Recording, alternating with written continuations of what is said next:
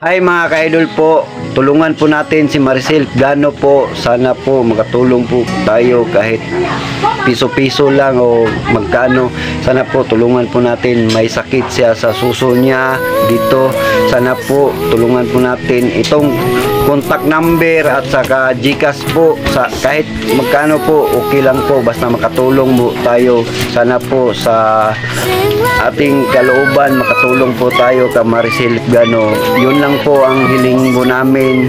Sana po sa inyo po So karon mga kaidol, ni mga kaidol, bayat kaayo, mga ayon siya tabang sa inyo ah, sa kasing-kasing lang mga kaidol. So unsa may istorya nimo sa ilahan nga sa nagtanaw sa akong vlog. So kamo lay bala mo suporta siya ha kay tagaan na mo contact number nila, sila joy mismo yung kontakon kung muhatag mo sila tabang. So mo mga kaidol, mga ayo tabang sila.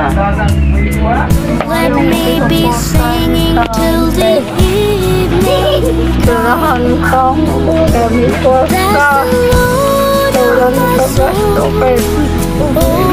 my gasto soul. I worship His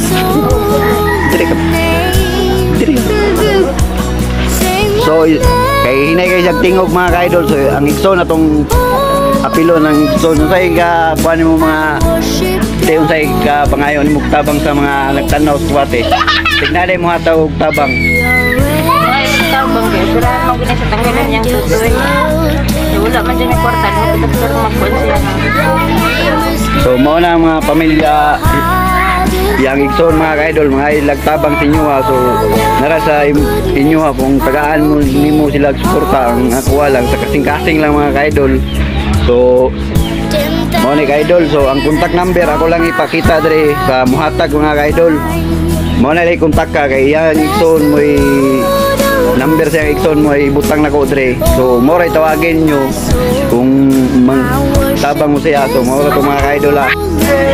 So mga ka-idol, na mga yung tabang sa inyo ha, sa kasing-kasing lang kung tabang mo siya ha kay naman ko ni sakit. So kamo lay bahala mga ka-idol kung mutabang mo dili basta ka ang siya mga idol tabang siya mga idol porta kay magpatambal sila sa doktor. So wala sila joy kwarta. Kamo lay bahala mga idol ha. So atong interview ni mga idol tara